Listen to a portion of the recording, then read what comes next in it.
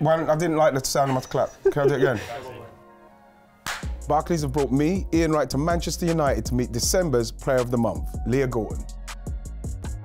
Leah, you're flying. I'm really pleased to see it. How you feeling? Top of the league, Player of the Month. Everything's going well. Life's good. It feels good, to be Mm-hmm. fair, yeah. It's good atmosphere around the team at the minute as well, so we need to keep that up. Mm. So what is it about December, January where you're on fire? Is it the cold? When you born? Because I was born in November. I quite like the cold as well. When you born? May.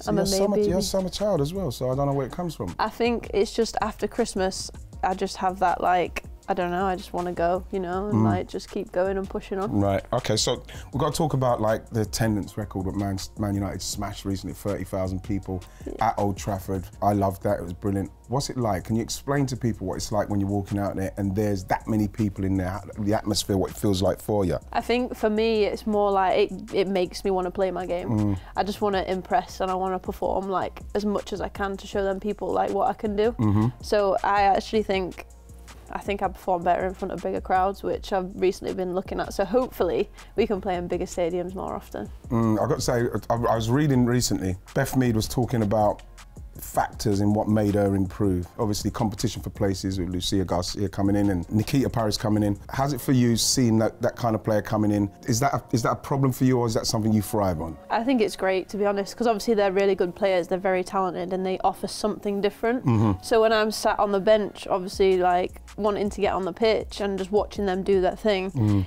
It's almost like okay, like I need to come back firing, Yeah. like and I want to. So I think I'm really happy for them watching them perform. It's it's not there's nothing better to see Mm. than people doing well.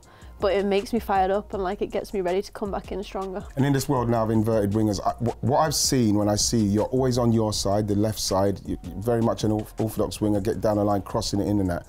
But I'm seeing now you're seeing you more inside. Have you worked on that yourself? Is that obviously what the, the coach wants to do, or is that do you enjoy it? Do you what, what do you like it? I think when Marc first came in, it was very inverted and it was a bit different for me, and Mm. it was I wasn't too sure about it, and it didn't really work the first couple of games because I was I'm a very like natural winger, staying wide, running at fullback. So what was it when you came in the middle? Did it feel like you felt like oh gosh, where am I? Yeah, and like it was harder for me to turn and face a defender when I was in the middle of the park. So it was like just like being unsure about the, the situation. Mm. And I think now I, I have the understanding of me and Tooney like to rotate. Mm. So she'll go wide, I'll stay in the middle, and it, it doesn't feel uncomfortable anymore. It feels very natural, and I feel like it's working at the minute. Did it t- did it take time for you? yeah. You know, because you're very you're very left-footed. Yeah. We're going to see one of the goals in a sec. We're going to roll it in in a sec. One of the goals where it's a brilliant finish, but like it's, you're you're in a place where you're actually almost coming off. You're coming off the right-hand side. So this is the goal, and it's like where you're coming off of.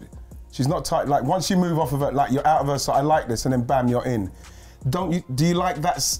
Very unorthodox finish, I might add, with the outside, of the left foot. Yeah. yeah. Never even thought to go with your right foot with that one. No, I think you know what this was going through my head. If like you see it here, the defender's actually getting pretty close to me. Mm. Right. So I feel like if I hit it across her, she might block it. Right. That's why I've gone near post with the outside of the foot left finish. You like that? Yeah, like that.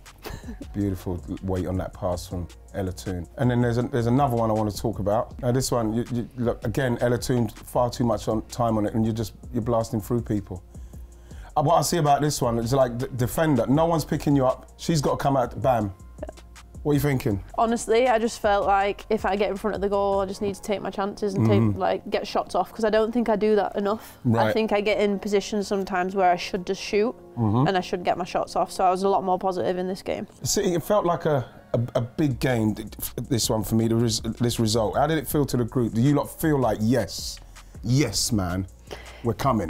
It did, but also I think after this game I was almost frustrated that we didn't win. right. because the last 10 minutes was like very we could have we could have sh- we had you think you chances to win yeah but then also there was points in the second half where they could have also nicked it as well So going into it, because like obviously the Arsenal game, like November, and, and what you've done, because people talk about Man United like, oh yeah, but when it comes to the big games, they don't turn up, they don't, it doesn't happen for them. Was you thinking about that game and going back to the, thinking about the Arsenal game to go into that game, say, no, we're ready, we're ready for this. oh yeah after the arsenal game i think our mentality's just changed like completely because we knew we could go to a big stadium against a big team and we've mm. come come away with the three points and i think that confidence in and around the team right now is right there Okay, so now Lee, I've got to ask you a question. England, I want you back in and around England.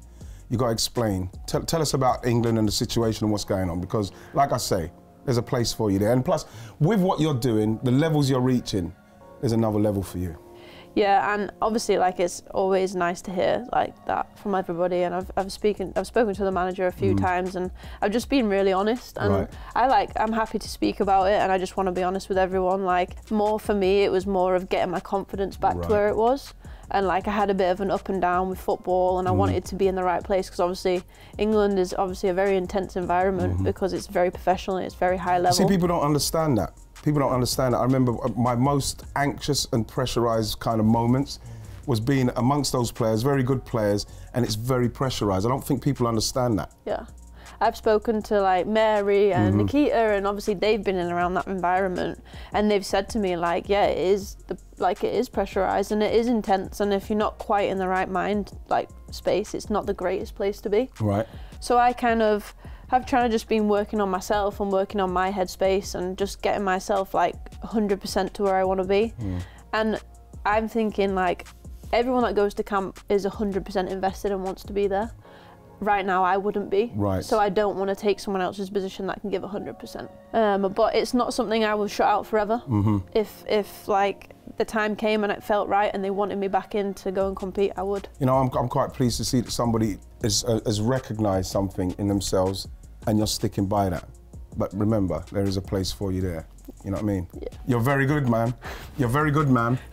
Eyes on the title now. So, how are you feeling about this league title run? I think for me personally, it's more of like, let's just continue every game as we're going. I'm not even looking at May and thinking, oh, we're going to win the league. Mm. Right now, I couldn't care less about that. It's more keeping everyone fit, keeping the depth in the team, and keep performances. Mm. And if we can do that, the outcomes will show themselves. Lee, I've got to say congratulations on being Barclays Women's Super League Player of the Month. There Thank you go. Thank you very much. You're the best.